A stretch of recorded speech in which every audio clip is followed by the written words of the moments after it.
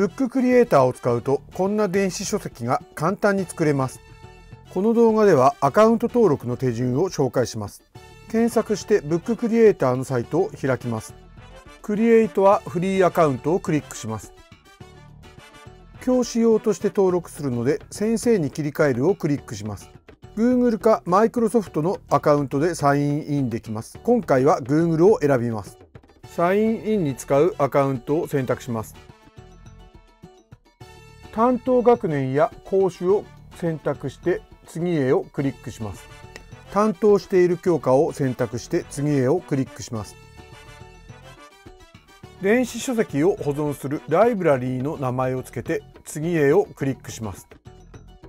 今回はショートカットを作らないのでまた後でするをクリックします。